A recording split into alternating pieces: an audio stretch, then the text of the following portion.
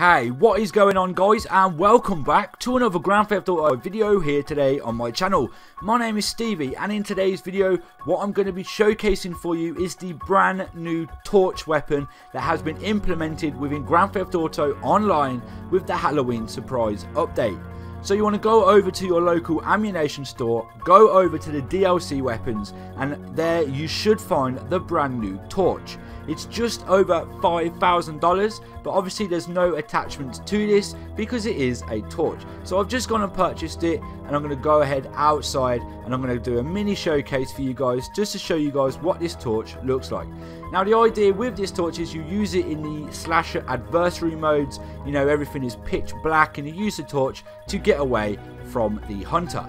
So as you can see, I'm shining my torch around this little area right here. Now to light it up, all you need to do is press the aim button. So the left trigger button to aim it and it will turn it on. You can also use this torch as a weapon. I'm just going to hit this poor guy in a couple of seconds over the head with my torch.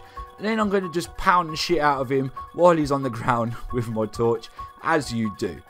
So this is just a mini sort of gameplay sort of showcase of the brand new Torch. Unfortunately guys it is only available with the next generation consoles. Unfortunately for you guys on the Xbox 360 and the PlayStation 3 I'm not sure you'll be able to get your hands on this awesome torch so I do apologise for you guys right there.